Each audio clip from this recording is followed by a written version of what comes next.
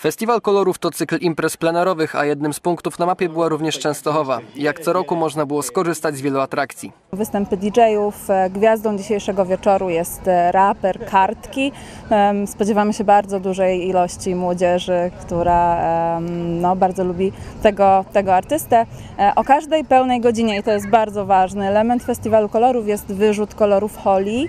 Wtedy wszyscy, e, którzy są pod sceną, wyrzucają kolory holi, prowadzący odlicza od 10 do 1 na 1 jest wyrzut i wtedy kolory idą w górę, barwna kolorowa chmura e, opada, koloruje wszystkich od stóp do głów. Najfajniejsze jest to, że e, cali jesteśmy kolorowi w różne kolory, możemy się poczuć jakby znowu dziećmi, więc jakby to jest, wyzwala mega dużo takiej pozytywnej energii e, i, i daje fan. Zabawa budzi jednak zdrowy rozsądek, który zastanawia się, czy wszystko uda się wyczyścić. Jednak Ilona Glanowska ze Stowarzyszenia Festiwal Kolorów uspokaja. Wystarczy wejść pod prysznic tak naprawdę. Kolory holi, które stosujemy na naszych imprezach są bezpieczne, spierają się łatwo.